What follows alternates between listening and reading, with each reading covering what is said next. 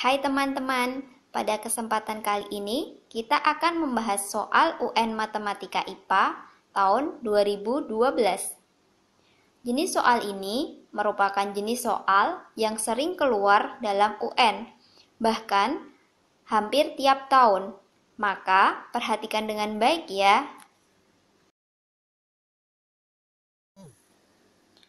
Hasil dari integral 3x 1 per 3x kuadrat min 2x plus 7 dipangkatkan 7 dx sama dengan A min 1 per 3 dikalikan 3x kuadrat min 2x plus 7 dipangkatkan 6 plus C.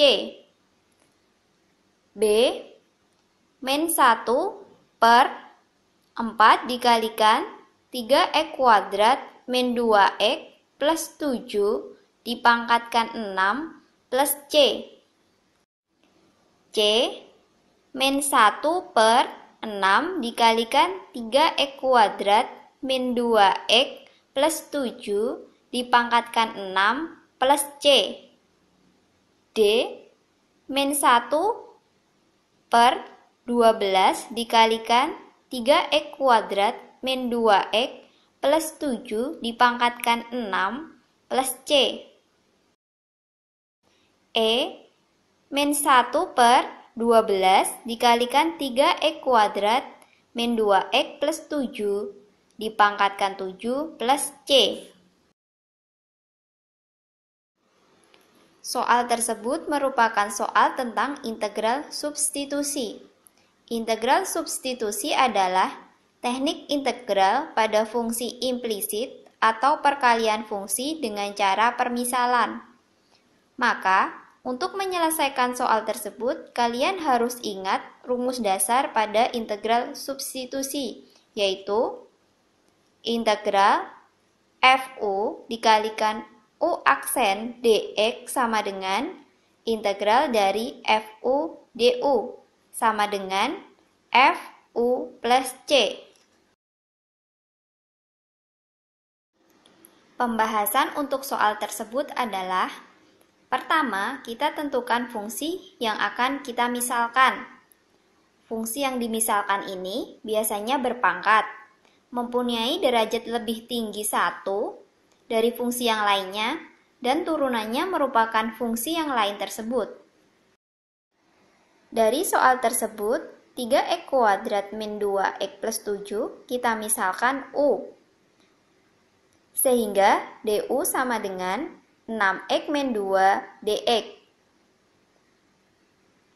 Lalu, kita bagi kedua ruas dengan 2 sehingga didapat setengah DU sama dengan 3X min 1 DX.